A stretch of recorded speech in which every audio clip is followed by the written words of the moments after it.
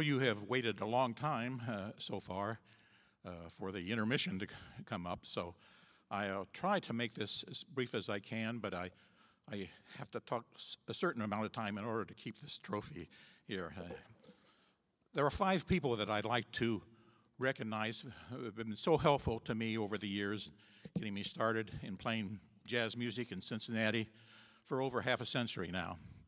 The first person I'd like to thank is Carmon DeLeone.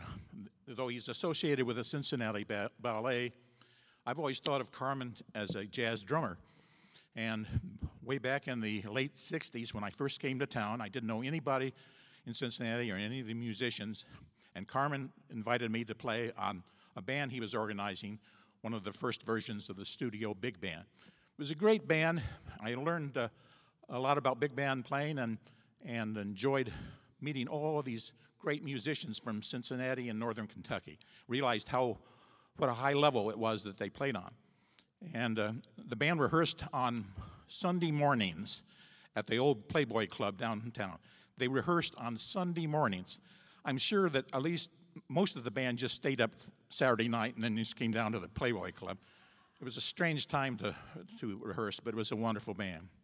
The second person I'd like to recognize is the late Frank Brown, who's also in the Hall of Fame. Frank recommended me to Woody Herman in the 70s uh, for a short tour through the Midwest, various colleges and dances and concerts with his big band. And um, it was a wonderful band, exciting, but the most exciting thing about Woody's band happened the first night that I joined the band. It was kind of late in the day, and the band manager said, We don't have your, your uniform altered yet, but uh, the, the jacket's okay. It was a, a snazzy leisure suit. But he, she, he said, The pants are a little bit big, there's just one button, but you put this safety pin on, and that'll be okay for tonight, and then we'll get it altered tomorrow. I said, Oh, great. I was thinking about playing with Woody. You know. So well, the concert starts up, we get halfway through, and there's a big baritone solo. I'm standing up and playing on this flag, whatever it's called, Four Brothers. And I'm just thinking, what a great thing this is, playing on Woody's band. And as I'm playing, I can feel my pants slowly working down my leg. Now, I had always thought from a jazz standpoint that I needed more nation, national exposure, but that's not what I had in mind. That's why it was so exciting that, that day. The third person I'd like to recognize is bassist Frank Proto, who was organizing an, a version of the, the symphony jazz ensemble that he had started a long time ago. He had originally it was a quintet, and he added uh, horns and and a four-person rhythm section. It was an octet. Everybody in the band seemed to be named Frank. Um, Frank Proto was the, the leader, and Frank Brown was a wonderful trumpet player I've already mentioned, was on the band, and and wonderful piano player, Frank Vincent, was there. And uh, it was just one of, I thought I was going to have to change my name to Frank Dickson just to get on the band, you know.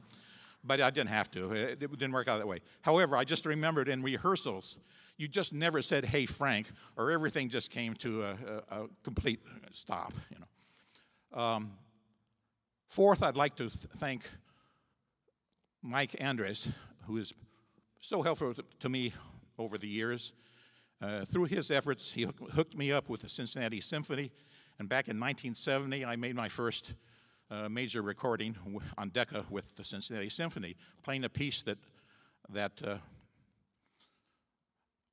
um, the wonderful piano player with Paul Desmond, Dave Brubeck had written. How soon we, we forget. Brubeck was on the recording. And as a result of that uh, recording, I developed a relationship with the Cincinnati Pops that was just starting out. And uh, as Nick might have mentioned, uh, I played with the Pops for 30 years through 2000, ending in a nice uh, program in Carnegie Hall with Doc Severinsen, by the way. And finally, and maybe the most important person I should mention, is the late John Von Ohlen. Uh, back in 1980, he and trumpet player Don Johnson had the idea for a rehearsal band, and John invited me to play the baritone saxophone with the band. We thought that it would last for a couple of months, and we could play every week in a jazz club in Cincinnati, over in O'Bryonville, and it would be fun to do for two months. Well, the, the, it turned out it lasted for 40 years, and uh, the Blue Wisp Big Band has played virtually every Wednesday night, every every week for over 40 years, and I've been very lucky to play on that band, and they play some of my arrangements. Um, so that's pretty much it. I um, I did I did kind of forget Dave Brubeck's name, and not, not to, to uh, shortchange him, but there's one person that I could never forget, and that is my beautiful wife of half a century, Melissa Eckhart Dickson. I just want to say one sentence about my wife, who's been probably my biggest supporter and an encourager.